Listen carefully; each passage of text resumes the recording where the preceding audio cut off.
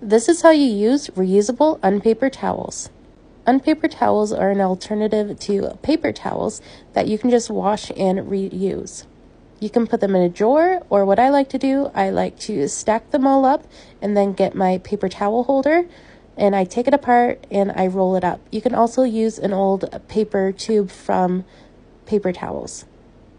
Once they're all rolled up, I put them back on the paper towel holder and I just grab one off to clean. When I'm all done, I'm going to throw this unpaper towel inside the sweat bag so I can wash later.